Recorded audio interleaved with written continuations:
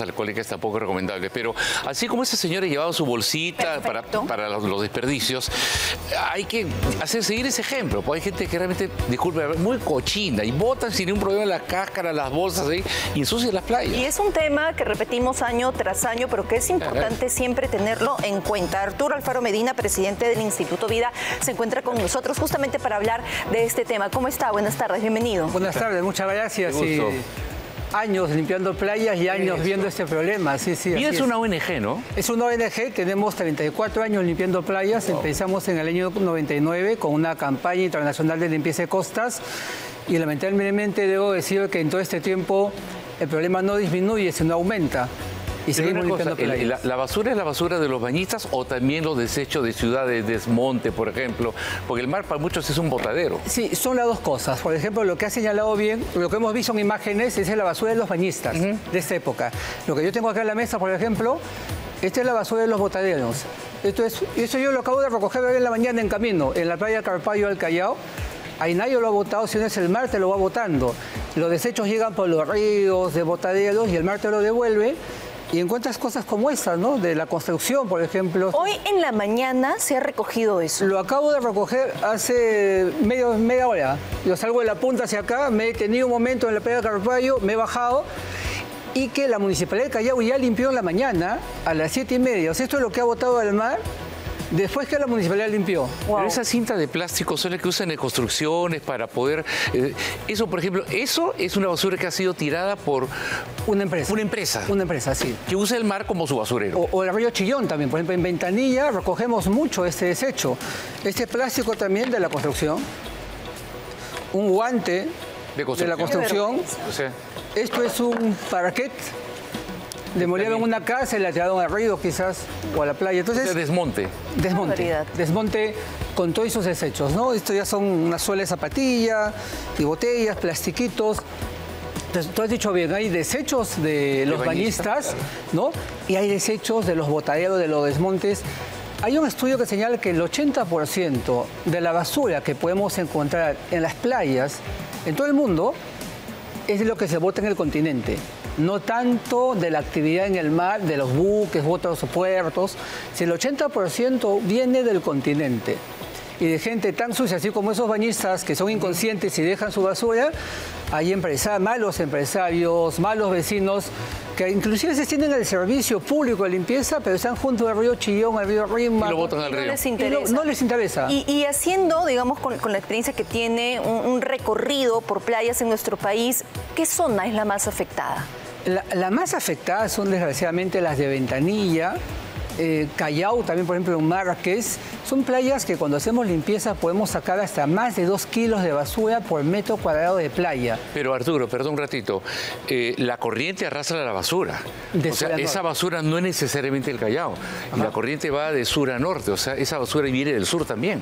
Así es, por ejemplo, en el caso de Ventanilla, está, sus playas están al norte de la desembocadura del río Chillón y del río Rimac. Entonces, todo lo que venga por el río Chillón, sube. De Puente Piedra, Los Olivos, Comas, Calabaillo, San Martín, que eh, hayan botado ahí, sale y sube, la corriente va de sur al norte y llega a Ventanilla, Santa Rosa, Ancón. Aucayama, Chancay, o sea, todo lo que vos del río Chillón, tú estás en Ancón, te metes y estás con plástico. Claro, por eso terminan siendo las playas más perjudicadas. Así o igual Mar, que también tienes el río Rima, que, que también bota basura, y el río Chillón, entonces todas esas playas de Callao y Ventanilla encuentras desechos como estos. Por ejemplo, cuando vemos el tema de construcción, hay zonas como el caso de Lurín, donde hay mucha construcción industrial. Entonces, esa basura es de allí la que va hasta Ventanilla, hasta Carpallo. no, de, Lurín no tanto, ¿no? Pero sí la de Río Rimac o de, Chillón, Chillón, de Chillón.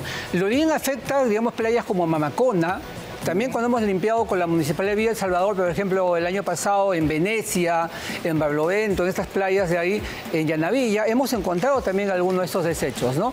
Eh, entonces uno cuando ve los desechos busca que identificar la fuente. Claro, ¿de dónde viene? ¿De dónde viene? Para luego tratar de actuar en los sitios donde viene y busquemos una solución. Pero lo que nos comenta es que incluso la situación empeora año tras año, digamos, el tratar de formar conciencia no está dando por lo menos los resultados que quisiéramos. Eh, no, tienes mucha razón en eso, falta formar mucha conciencia en la población para que en esta época del verano los bañistas no impacten más y durante todo el año para que no usen los ríos y el litoral como botaderos. ¿no?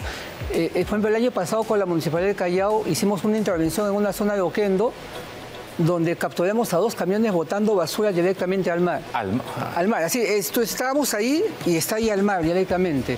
Y cuando a los camioneros los intervenimos, venían desde la avenida universitaria, que habían recogido desmontes y basura de ahí, y como no tenían, a ellos les pagan por eliminarlo. Claro, bótalo donde ya tuve dónde. Claro, y ellos para no pagar en un sitio actualizado, van y lo botan. O, o, el año pasado, por ejemplo, encontramos vacunas. Ah, eso es gravísimo. Encontramos vacunas. Esos son desechos biológicos. Sí, encontramos vacunas eh, contra la influenza. Ah, Más de 5.000 vacunas contra la influenza que recogimos en playas de Oquendo. Hicimos la denuncia y, y llamo la atención al Ministerio de Salud y a la Fiscalía que siga el proceso de investigación fiscal y todavía no sancionan porque esas vacunas tienen registro sanitario Claro. y todo. Pero mira, encontramos vacunas, esas encontramos muestras de sangre, jeringas. O sea, cuando limpiamos Pero son desechos hospitalarios. Ahí están las Ah, imágenes. O sea, hay hospitalario, hay industrial, comercial, De todo. doméstico. Como bien se todo. dice, limpiar es bueno, pero no ensuciar es mejor. Y ahí, como se parece, falta esa cultura de no ensuciar. Eh, La No sean prevención. cochinos. Eh, La prevención. Por ejemplo, algo importante acá, y, y qué bueno que lo mencionas, Gonzalo, las estadísticas mayormente en nuestro país de residuos sólidos es cuánto recojo, ¿no? cuánto limpio y cuánto elimino. Deberíamos hacer una estadística, gracias a la educación ambiental, gracias a la concientización ambiental, cuánto menos se está ensuciando. O sea, este año he botado menos basura porque he avanzado con la educación ambiental, mi población es más consciente y no ensucia tanto.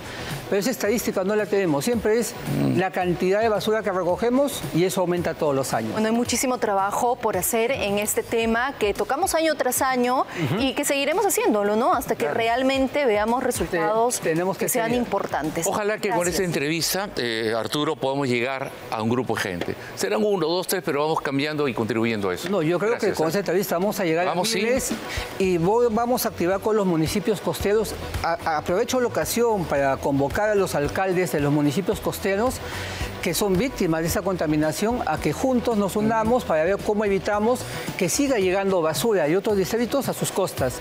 Eso es. Y ellos tener que gastar su presupuesto de limpieza pública en limpiar basura ajena. Claro, y se va y toda la tenemos plata. que actuar, tenemos que actuar ahí. sí. Muchas Muchas gracias, gracias. por haber estado con Gracias nosotros esta tarde. Arturo Gracias. Alfaro Medina, presidente de la ONG Vida.